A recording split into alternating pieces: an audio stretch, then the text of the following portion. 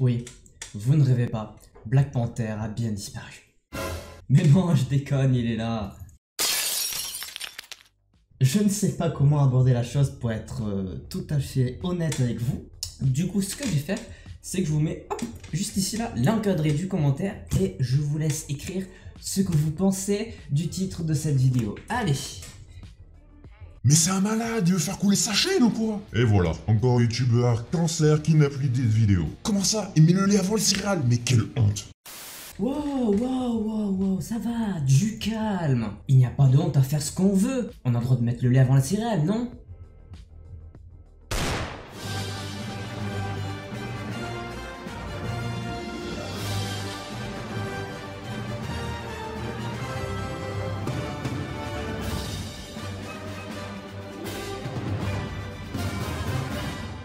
Eh bien bonjour à tous, ici votre Captain Marvel, j'espère que vous allez bien. Et comme vous l'avez compris avec le titre de cette vidéo, je mets aujourd'hui en place un nouveau concept. Les Charlistes Cette intro était beaucoup trop épique pour ce que c'est vraiment. Alors je vous arrête tout de suite, je ne suis pas là pour profiter d'un système qui peut marcher. C'est juste que je vais pouvoir apporter une analyse un petit peu plus poussée sur les choix que je vais placer en fonction des, des tier d'avoir une petite argumentation derrière comparé au Calais qui est déjà un, condensé très long je trouve et je peux pas trop m'exprimer parce que sinon la vidéo elle durerait euh, durer trop longtemps en fait. Et donc on va, comme les Calais, aborder plusieurs thèmes, bon beaucoup sur le cinéma, vous en doutez, et on va commencer aujourd'hui bien sûr avec un basique, avec les personnages du Marvel Cinematic Universe. Alors je vous rassure, il y en a 115, mais je vous rassure, on va pas faire une seule vidéo parce que sinon on en a jusqu'à demain. Donc on va faire une vidéo pour les méchants et une vidéo pour les héros. Voilà. Et donc aujourd'hui, on va s'attaquer aux méchants de Marvel. J'espère que vous êtes bien hypés, parce que moi c'est le cas. Enfin bref, cette intro est vachement longue, ça doit faire 3 minutes. On est parti. Et donc là, on se retrouve sur le site internet Tierlist qui va permettre de pouvoir classer euh, nos candidats en fonction de notre avis. Donc vous avez il y a juste ici. A, B, C, D, E, F, c'est donc du meilleur jusqu'au pire, entre guillemets, même si j'aime pas le mot pire.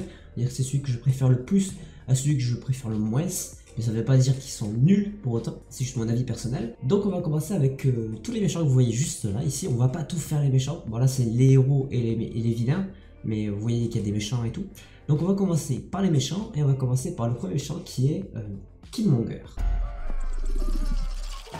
Killmonger qui est l'antagoniste principal du film Black Panther. Bien, pour l'instant on le met en F, justement pour que vous puissiez le voir, donc c'est ce personnage ici présent. Je pense que il euh, y a beaucoup de gens qui ont surkiffé le personnage, le, méchant qu'il était.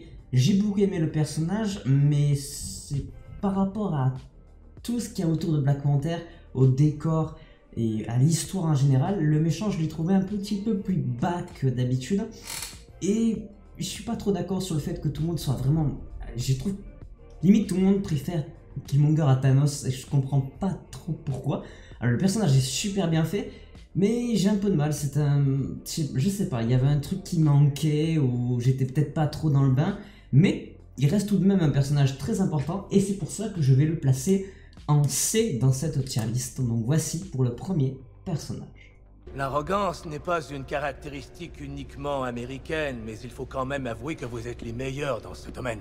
On continue directement avec le personnage de Red Skull. Alors le personnage de Red Skull, c'est vraiment compliqué parce qu'à la base, on l'a vu qu'une fois. C'était l'antagoniste principal de Captain America The First Avengers. Il était exceptionnel et on l'a perdu au fil du temps. Et il est revenu, on s'est rendu compte qu'il était le protecteur de la pierre de l'âme dans Avengers 3 et Avengers 4. Ce qui est dommage avec lui, c'est que on n'a pas vraiment eu l'explication de ce qu'il foutait là. Enfin, on sait qu'il a été emprisonné, mais on n'a pas eu, on n'a pas eu un travail plus poussé derrière sur ces deux films. Mais il reste quand même extrêmement bon dans le premier Captain America et il mérite quand même une place très importante. Donc ce sera un, un C également pour euh, notre cher Red Skull. Je suis peut-être beau comme un ange. Mais une chose est sûre, j'en suis pas Alors, pour le personnage de Yandu, c'est un anti-héros. Donc je considère que dans les vilains, on, on, peut se permettre de mettre les anti-héros. À la base, Yandu c'est un méchant. Yondu est le méchant et le gentil des Gardiens de la Galaxie, le 1 comme le 2. Alors le personnage est hyper charismatique, il est bon et tout, l'acteur est incroyable, le personnage, enfin vraiment il est fou, il est bien travaillé, donc en vrai il n'y a pas vraiment de, choses qui, puissent me déranger avec lui. La relation qu'il a avec, avec Quill notamment elle est incroyable, mais je pense que c'est un personnage quand même très important. La seule problématique que j'ai un peu avec lui, c'est son utilité dans le 2, du coup, un peu euh, par, rapport à, par rapport au fait que le 2 est pas le meilleur des gardiens, enfin, c'est forcément le, le 1 est, au top. Bah, le personnage perd un peu de son charme dans, dans le scénario du 2, mais ça sera quand même un C également. il va y avoir peut-être beaucoup pas mal de C. J'aime beaucoup les personnages, forcément. C'est un C pour Yandu. Désolé, ma chérie. Tu vas payer les erreurs de ton papa. Bon, là, je vais être un peu plus dur. Je pense que c'est le personnage que j'aime le moins chez les méchants. Le Yellow Jacket, je trouve qu'il est un petit peu fan service et qu'il sert pas vraiment à grand chose. Euh, je sais pas, je l'ai pas trouvé vraiment impactant. Autant le personnage d'Ant-Man, comme j'ai dit, il est incroyable, le 1 est incroyable, mais le méchant rabaisse un petit peu le, niveau qu'on a donné au héros principal qui est Ant-Man. Donc euh, ça sera un E pour moi, malheureusement pour Yellow Jacket. Je sais pas, j'ai pas du tout accroché à ce personnage, donc euh, voilà, un petit E. Mais le destin en sorte que tu survives. On arrive sur l'antagoniste principal, le premier méchant euh, du MCU, l'Iron Monger, le méchant de Iron Man 1. Juste exceptionnel. Le, je sais pas comment ils ont fait, mais le, travail de ce personnage, le charisme, la façon dont il a de d'être méchant, elle est incroyable parce que dès le début, tu sais qu'il a une tête de méchant, mais tu te dis pas bon, ok, il a une tête de méchant. Mais ce qu'ils ont fait derrière avec lui, le fait que je sais, peut-être une sorte de jalousie ou le simple fait qu'il aime pas ce que fait, euh, il aime pas la manière dont, dont opère euh, Tony Stark, ça le rend exceptionnel. Et je préfère sa version euh, sans armure évidemment, parce qu'il est tellement beaucoup plus impactant. Euh, et c'est pour ça vraiment qu'il va prendre une, bonne place, parce que je vais le mettre en D. Contrairement à beaucoup de gens qui le trouvent pas forcément très utile, moi je l'ai trouvé énorme, vraiment énorme. Donc ce sera le premier B de cette tier list pour ce personnage. Genoux. Sans doute pour moi l'un des meilleurs méchants de Marvel, on va parler de Ella, qui est l'antagoniste principal de Thor Ragnarok, et il euh, n'y a pas grand chose à dire. Je l'aime de, A à Z, vraiment exceptionnel, je... Voilà. Vraiment j'ai le méchant est énorme, donc il n'y a, a, pas de raison. Donc ce sera un A pour Ella. A, Ella. J'ai pas envie de faire de blagues. Alors, il n'y aura pas forcément des extraits pour tous les personnages, je sais pas si on en aura même pour celui-là, mais on va s'attaquer à Ghost, qui est l'antagoniste principal de Ant-Man. Et eh ben, c'est exactement la même chose que pour euh, Yellow Jacket. Je l'ai pas trouvé vraiment incroyable. Et je trouve que ça descendait encore une fois le niveau des, héros d'Ant-Man et, euh, et, de la Guêpe. Donc, ça sera pareil que Yellow Jacket, un, un E pour moi.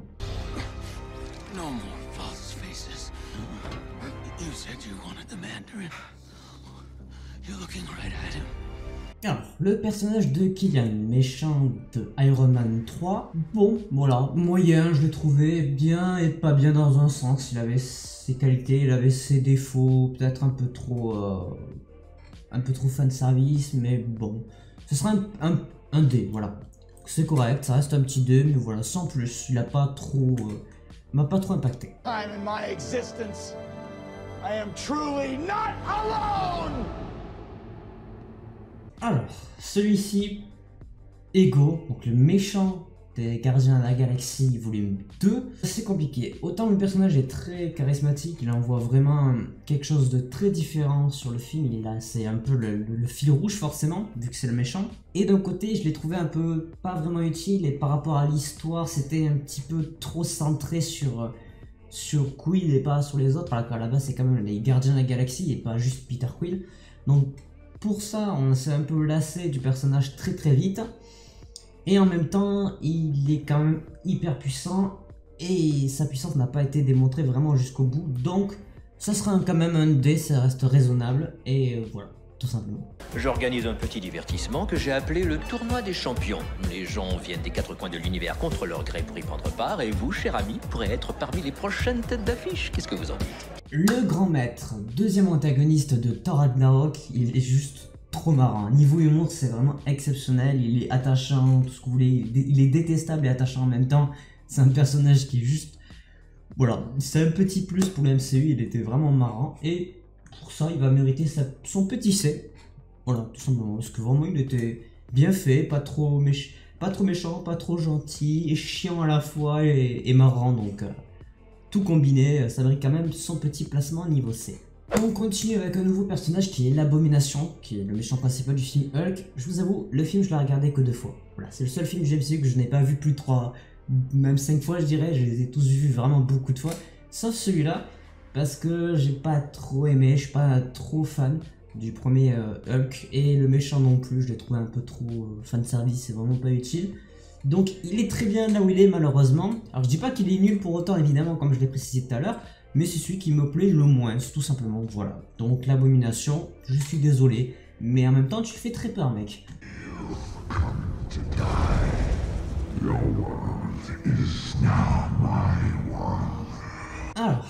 Dormammu, donc un des deux méchants de, de Doctor Strange, c'est une entité, c'est la première, c'est le premier même, je crois qu'il n'y en a pas d'autres des entités cosmiques. Donc c'est le premier méchant entité cosmique. Et bah, il intervient juste à la fin, il n'est pas forcément présent tout le temps. Mais de ce que j'ai vu, il est quand même hyper fort. C'est juste qu'il est un peu bullshit. Genre vraiment, on lui tape dedans et c'est juste la victime de la victime du film un peu. C'est vraiment le boss final, mais genre facile. Je l'ai trouvé quand même un tout petit peu intéressant dans le fond. Je me suis dit qu'il a- il peut apporter vraiment quelque chose d'important dans le futur, vu qu'il n'est pas officiellement mort. C'est juste qu'il a- il est pas, mort en fait, on il l'a pas tué. Donc ce sera un petit E pour moi, voilà, tout simplement. Alors ce personnage, j'ai vu son nom, c'est Kra- Kratos. Oui, c'est ça, Kratos. Le personnage de Kratos. Alors, il apparaît donc dans le premier volet des Gardiens de la Galaxie et dans Captain Marvel. Et dans les deux cas, bah, je l'ai pas trouvé très, euh, très utile, très impactant. Il sert pas trop à grand chose, vraiment un, un méchant lambda.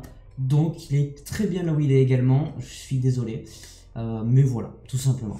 Donc un petit F. On s'attaque maintenant à Malekith, le méchant de Thor 2. Et autant le personnage, il aurait pu être très très intéressant, il apporte vraiment quelque chose d'important, c'est par rapport au film, qui est euh, légèrement un peu mal construit, je trouve, euh, le scénario est un peu bancal sur certains points, notamment avec le, fait que les amis de Thor soient, soient de la partie, je trouve ça un petit peu ridicule, comme je l'ai dit dans une de mes précédentes vidéos. Et le personnage, il arrive au milieu de ça, il n'arrive pas trop à, prendre sa place, il est un peu bullshité quand comme je disais, comme tout à l'heure pour euh, Dormammu. Et pour ça, ben, je vais le mettre à la même place que Dormammu, ça sera, ça sera un E pour, euh, pour tout simplement. Et pour son collègue aussi qui arrive juste après, qui est Fandral, donc je vous le dis directement. Je vais mettre aussi Fandral ici, le, le gros... euh, je vous le montre directement, attendez. Voilà, donc pour ce personnage-là, qui sont acolyte, euh, son- l'acolyte de Malekith, pareil, c'est un petit E parce que les deux ils, font combi- ils sont combinés. Et voilà, tout simplement. J'ai dit. Là, on s'attaque à du lourd.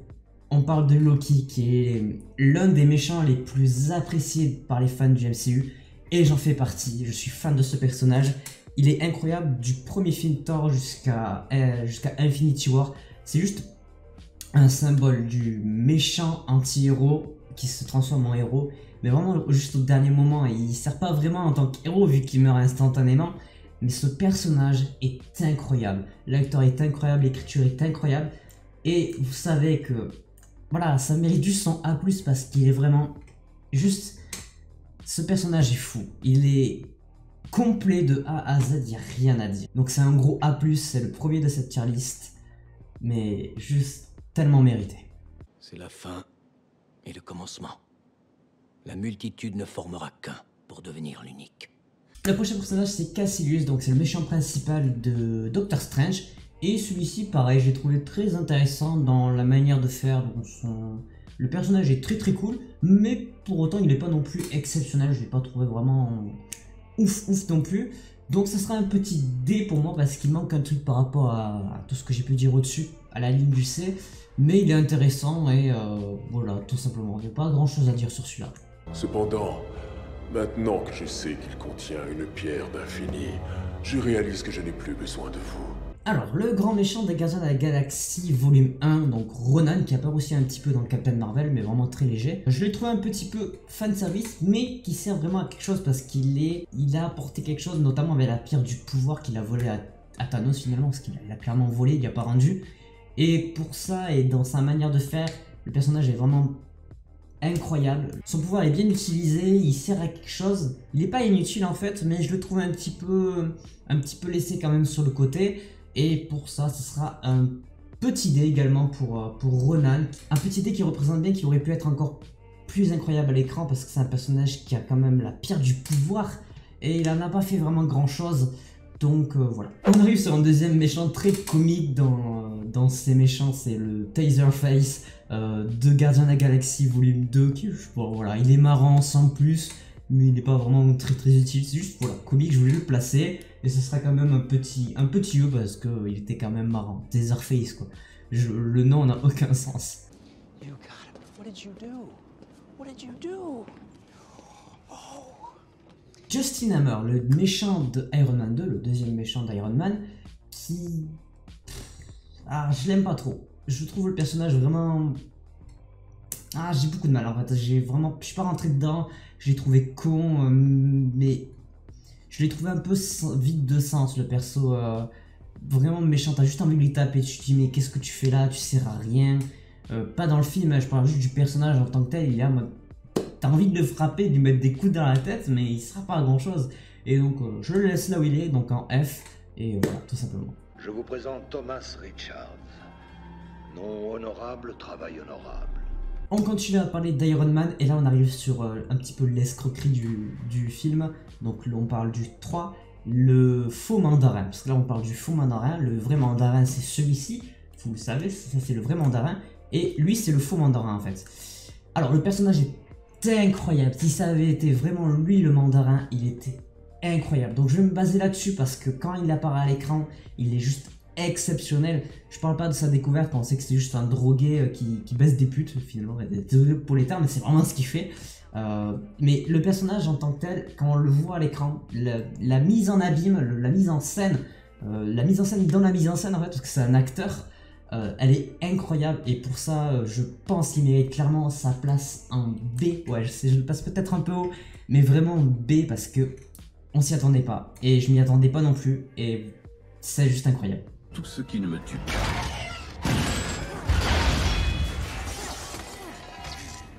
me rend plus fort. On s'attaque au premier méchant des Avengers.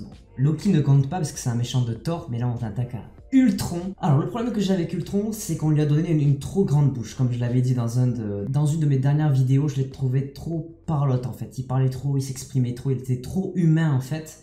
Mais la puissance du personnage son charisme font que ça rattrape un petit peu la chose, mais pas pour autant, il perd un peu de place. Euh, c'est pour ça que je vais le placer en C.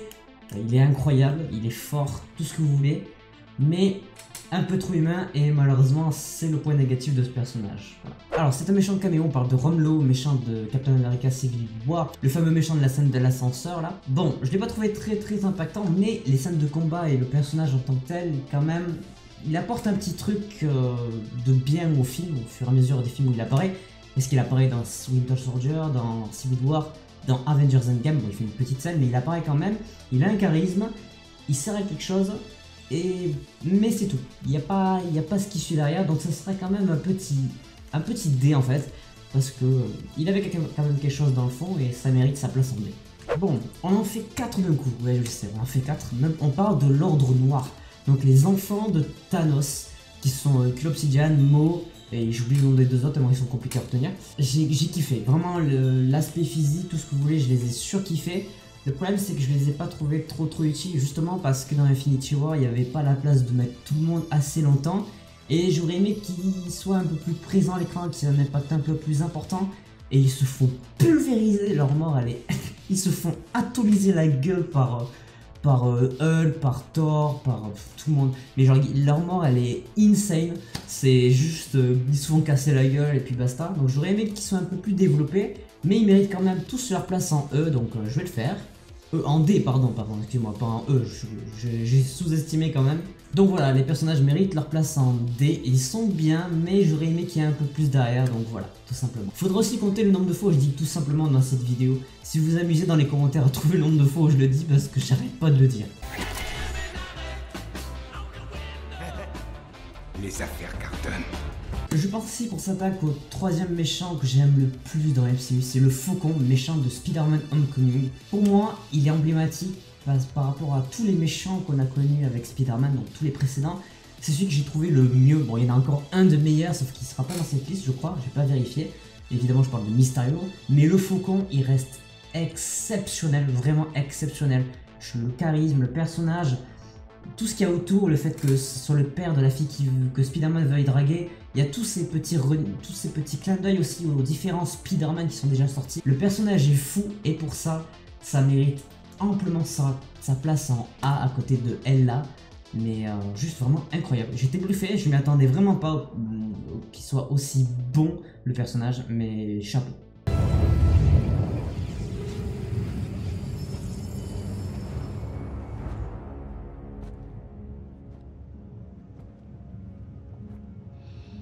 Bon, je pense que je vous ai quand même fait assez attendre. Évidemment, maintenant on parle de Thanos, le grand méchant du MCU. Et sans argumenter comme ça, déjà vous savez très bien qu'il va sur le A+, aux côtés de Loki.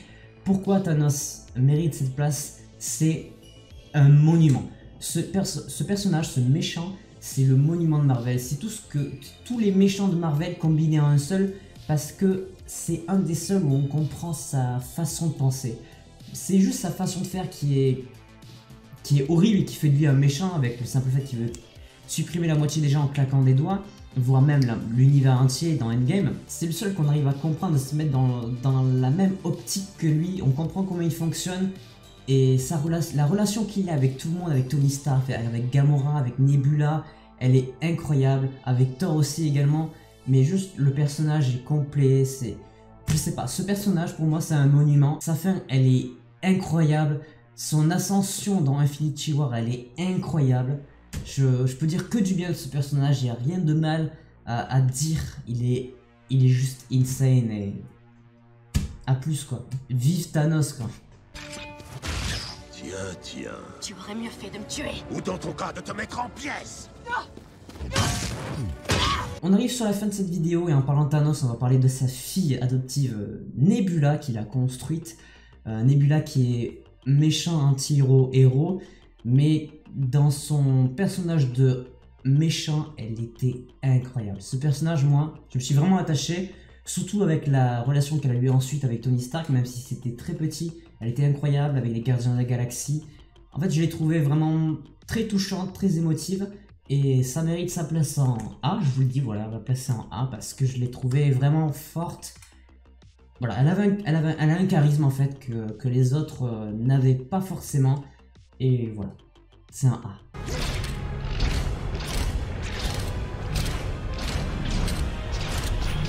On arrive sur la fin de cette vidéo, comme je l'ai dit, il nous reste trois personnages à classer. Nous avons Whiplash, qui est le méchant de Iron Man 2. Alors autant le personnage est... On comprend sa conviction, mais c'est mal exécuté, c'est mal formulé, je trouve personnage il fait un peu trop trop bourrin et euh, la mort qu'il a à la fin elle pas terrible non plus. Il prend juste une armure, il se fait pulvériser comme, euh, comme Obedian dans le premier Iron Man et du coup c'est un, petit peu répétitif et c'est dommage. Ça reste un personnage sympa à regarder donc ça sera un petit E pour moi, voilà, tout simplement. Si on parlait de ta patrie, pas la Roumanie, et encore moins Brooklyn, non. Ta patrie d'adoption un des méchants très moral, très psychologique comme Thanos. Pour moi, c'est le psychiatre qui a été très très bon, qui est le méchant de Captain America Civil War, qui domine un petit peu ce côté vraiment très psychologique, qui te met une pression de dingue avec le soldat d'hiver, forcément qui va être notre, un de nos derniers candidats. Et je l'ai trouvé tellement bon, évidemment il mérite sa place en A parce qu'il y a vraiment tout un aspect derrière très, très moral comme je l'ai dit et on aime, enfin moi j'aime ça, j'aime énormément ce côté-là donc ça mérite amplement sa place sur le podium. On parle maintenant du méchant de Captain Marvel, dont j'ai oublié le nom, merde, j'ai oublié. Yon Rogue, ça y est, voilà, donc c'est Yon Rogue, et je l'ai trouvé un petit peu bateau, surtout la, la, bataille finale, euh, j'aurais aimé un truc un peu plus dynamique. Ça reste un méchant sympathique, ça reste un méchant quand même emblématique du film, forcément, et je le placerai en D, voilà. Donc, euh, on va terminer cette vidéo, il nous en reste quand même